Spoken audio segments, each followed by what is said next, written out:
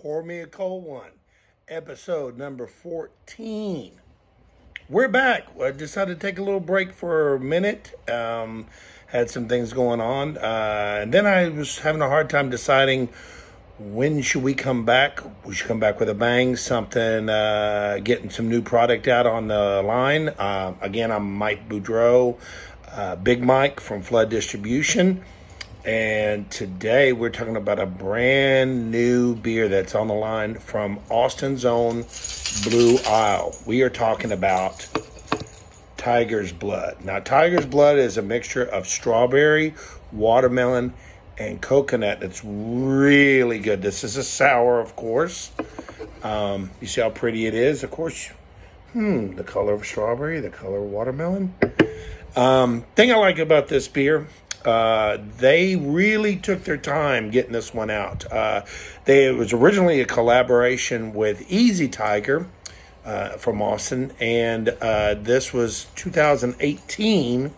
They did a small batch for uh, just to be sold at Easy Tiger and then at Blue Owl. And then in 2019, they released a small batch for their anniversary party.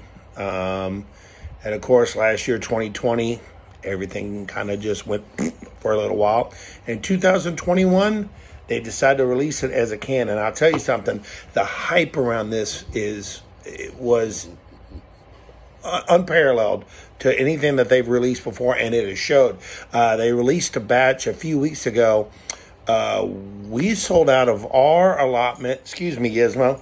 We sold out of our allotment in about three days. And uh, when it went out in the market, it the shelves were empty by the end of the week. Uh, they are releasing this. That's the reason why I'm doing this now. They are releasing this beer. Uh, we will have it back out in the market again on Monday. Uh, so expect maybe on store shelves Tuesday, Wednesday, and it's going to be gone. It's that's just how this stuff moves. Uh, it is going to be gone. So I thought this would be the perfect beer to reopen again because, again, if you want this, HEBs, Whole Foods, uh, your craft beer bars, your C stores, you would probably want to go out sometime this week and hunt it down. Um, it is a very light beer, great for summertime. and it tastes like a snow cone. It's really good. It is really good. It's refreshing. It's a great beer. Again, Blue Owl's Tiger's Blood. It's in store. It will be in stores this week.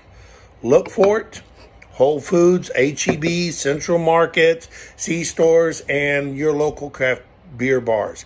And remember, please practice social safe distancing and uh, please drink responsibly. Don't drink and drive. And once again, cheers.